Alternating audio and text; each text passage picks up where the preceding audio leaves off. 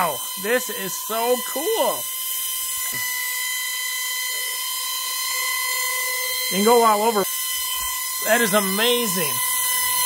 What's up, guys? I'm Mr. Alan C. Today we're checking out the Gravity Rover from Sharper Image. This is a vehicle that can climb walls. It can ride on the ceiling upside down. And look at that. It comes with a remote control right there. And here's the device itself. Looks ultra lightweight. I see some fan blades. How is this going to work? I can't wait to try it with you guys here first. So please do uh, get ready for some fun. Right, I removed the Gravity Rover from the box. Here's the actual vehicle itself. I see two propellers that create a uh, sort of suction. And there must be a Type-C port on here because it includes this USB to Type-C cable for charging it. So it is rechargeable. How nice is that? These tires, this kind of feels like soft and rubbery. First I thought it was Velcro, but it's got more of a rubbery feel. And then this controller, very unique. It looks futuristic. I like that. I think that lights up inside. So now I just got to figure out if this thing takes batteries.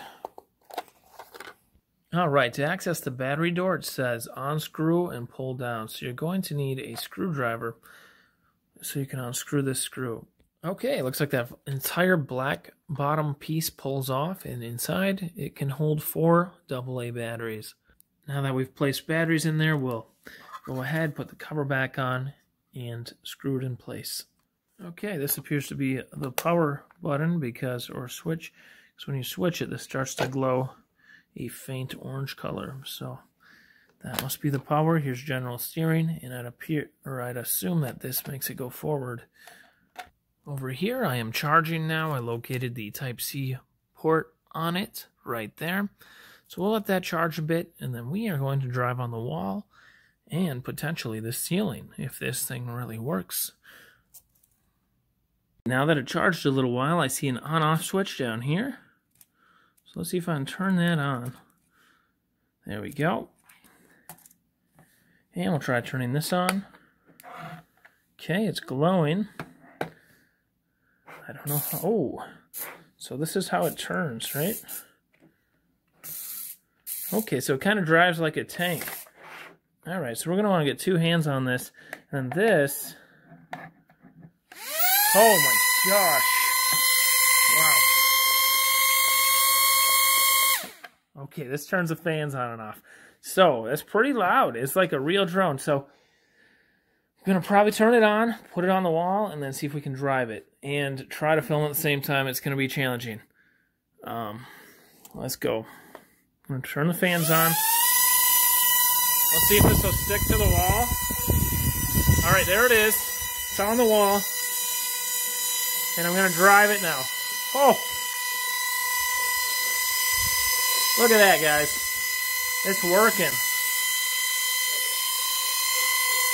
You can go all over, but I'm one hand driving it right now. How cool is this? I don't want to wake my wife up. It's kind of loud. Let me hit the fan button. Let's see if it goes on the ceiling. Oh my gosh, it's on the ceiling, guys. Look at this. It's on the ceiling. Let's drive it. Here we go. We're going to go cruising.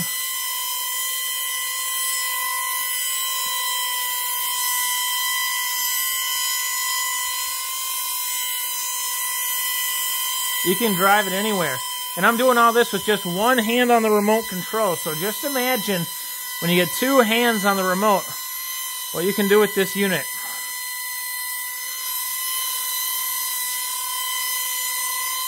Here it comes. Wow, this is so cool. That is amazing. Now I'll put it back on the ground.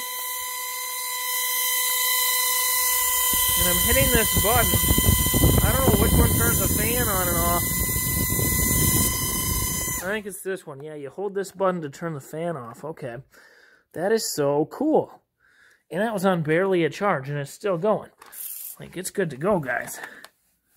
So, yeah, I'd say this is pretty neat. That was a quick unboxing of my first use, guys.